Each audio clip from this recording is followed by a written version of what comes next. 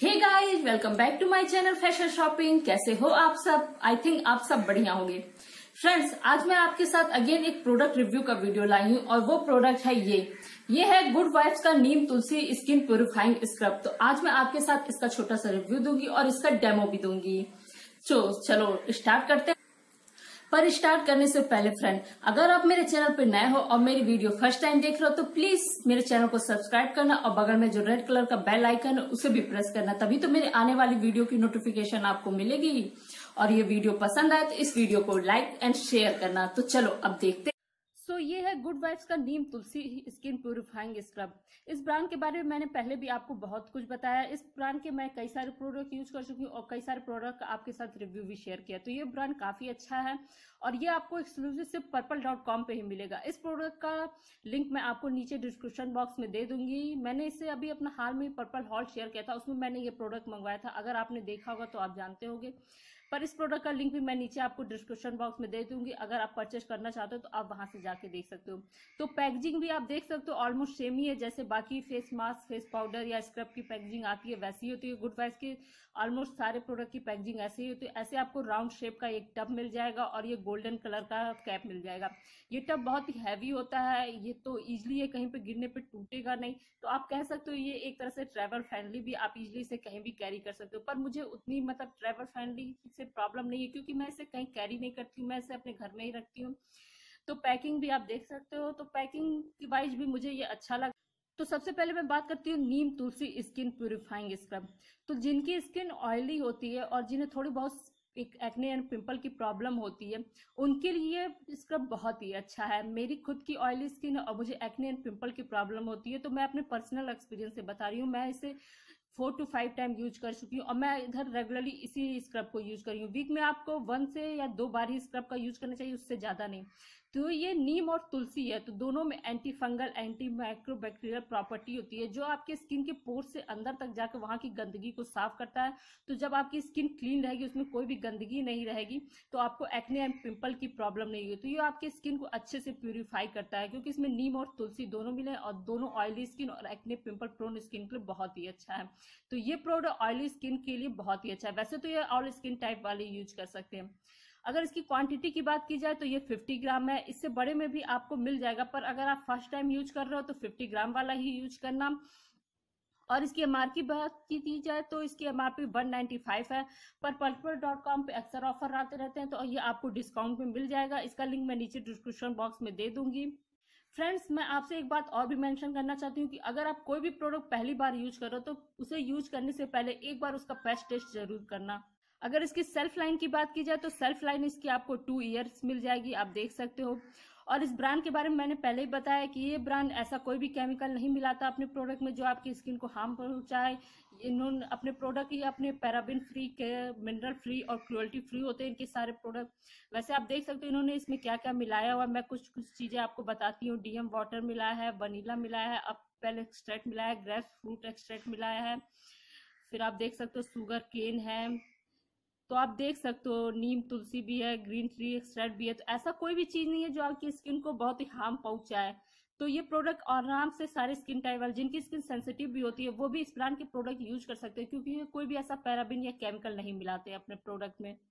फिर इन्होंने यहाँ पे बताया कि इन्होंने नीम और तुलसी के बारे में, neem and tulsi because well and neem and tulsi, neem with strong anti bacterial property आप जानते हो कि नीम में बहुत ही अच्छी एंटी बैक्टीरियल प्रॉपर्टी होती है और तुलसी के साथ, तुलसी में भी एंटी बैक्टीरियल प्रॉपर्टी होती है तो ये आपके ब्लड की सर्कुलेशन को इम्प्रूव करता है। और कलेक्टिवली और आपकी स्किन को एक हेल्दी ग्लो देता है, ये ऐसा इन्होंने क्लेम किया और ये सही बात भी है। आप नीम तुलसी का यूज़ करो, आप ऐसे भी नीम तुलसी का डायरेक्टली मतलब जो फ्रेश नीम तुलसी आती है, उसके पत्ते को तोड़ के आप उसका पेस्ट भी अगर आपकी acne and pimple prone skin है तो वहाँ लगा सकते हो। ये काफ़ी हेल्पफुल होता है। फिर उन्होंने बताया कि इसे कैसे यूज़ करना तो वो मैं अभी आपको यूज़ करूँगी और दिखाऊँगी भी तो इसे कैसे यूज़ करना है। सो so, ये तो हो गई इसके प्रोडक्ट की पैकेजिंग के बारे में बातें उन्होंने क्या क्या क्लेम किया है। अब मैं आपको इस प्रोडक्ट का ओरिजिनल प्रोडक्ट दिखाती हूँ। सो यू कैन सी ये इस कवर को ओपन करने के बाद आपको व्हाइट कलर का एक और कैप मिल जाएगा जिसे आपको यहाँ से ओपन करना होता है। सो यू कैन सी तो आप देख सकते हो ये लाइट ग्रीन कलर में थोड़ा सा है। आप इसका कलर देख सकते हो लाइट ग्रीन कलर में। ऑब्वियस सी बात है, इसमें नीम, तुलसी मिला है तो इसकी थोड़ा सा लाइट ग्रीन कलर में ही होगा। अगर इसकी कंसिस्टेंसी की बात की जाए तो बहुत ही क्रीमी है और बहुत ही छोटे छोटे इसमें आपको पार्टिकल मिल जाएँगे, बहुत ही छोटे छोटे आप आई थिंक देख रहोगे आपको ब्राउन ब्राउन करके थोड़े थोड़े से स्पॉट दिख रहे होंगे इसमें।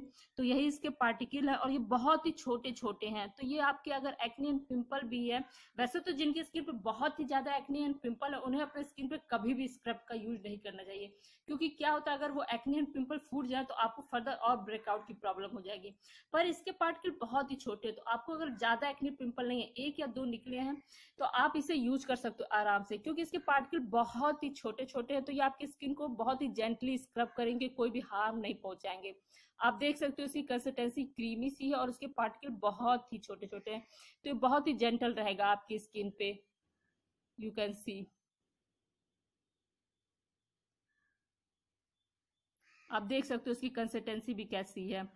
अब मैं आपको इसे अपने फेस पे अप्लाई करके दिखाती हूँ और इसका लाइव रिज़ल्ट भी आपको दिखाती हूँ। इसकी फ्रेग्रेंस की बात की जाए तो बहुत ही स्ट्रांग फ्रेग्रेंस नहीं है। हर्बल सी, नीम, तुलसी की आई थिंक आप कह सकते हो फ्रेग्रेंस आती है। बहुत ही स्ट्रांग फ्रेग्रेंस नहीं है तो जिनको बहुत ही स्ट्रांग स्मेल से प्रॉब्लम होती है, वैसा इसमें कुछ नहीं है तो आराम से आप इसे यूज़ कर सकते तो अब इस स्क्रब को मैं आपको अपने फेस पे अप्लाई करके दिखाती हूँ। मैंने अपने फेस को थोड़ा सा वाटर से गीला कर लिया है।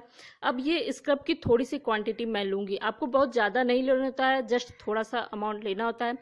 और इसमें थोड़ा सा वाटर मिला के आपको अपने फेस पे जेंटली से अप्लाई करके और बहुत ही हल्के हाथों से मसाज करनी होती है। बहुत अपनी स्किन को आपको रगड़ना नहीं चाहिए, बहुत जेंटली हल्के हाथों से मसाज करनी चाहिए।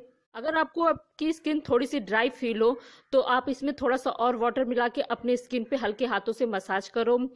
स्किन पार्टिकल बहुत ही स्मॉल है तो ये आपकी स्किन पे बहुत ही जेंटल रहेगा। इसी स्क्रब की हेल्प से मैं अपने नेक पे भी थोड़ी सी स्क्रबिंग कर लेती हूँ। आपको वीक में मिनिमम वन से टू बार स्क्रबिंग करनी ही चाहिए। इससे क्या होता है, आपके फेस पे जितनी भी गंदगी होती है, वो निकल जाती है। मैं वन से टू मिनट तक हल्के हाथों से इस स्क्रब से अपने फेस, लिप की सबकी अच्छे से मसाज करूँगी उसके बाद मैं नॉर्मल वाटर से अपने फेस को वॉश कर लूँगी। तो मैंने वॉश कर लिया है अब मैं टॉवल से पेट ड्राई करूँगी उसके बाद देख सकते हो आप मेरी स्किन आपको मेरी स्किन क्लियरली देख सकते हो पहले से ज़्यादा क्लीन लग रही है और इसने मेरे ऑयल को भी रिमूव किया है और एक हेल्दी सा नेचुरली सा ग्लो भी आपको मेरी स्किन पे दिख रहा होगा आप देख सकते हो। मेरे ऑयल को इसने कम्प्लीटली रिमूव भी कर दिया यू कैन सी और आपको थोड़ा सा ग्लो भी दिख रहा है तो मुझे तो मुझे तो ये स्क्रब बहुत पसंद आया। सो फ्रेंड आई होप आपको आज की वीडियो पसंद आई हो। वीडियो पसंद आई तो वीडियो को करना लाइक दूसरों के साथ शेयर और मेरे चैनल को सब्सक्राइब तो चलो फिर मैं मिलती हूँ नए वीडियो में कुछ नए टॉपिक के साथ। तब तक लिए bye bye take care and thank you so much for watching my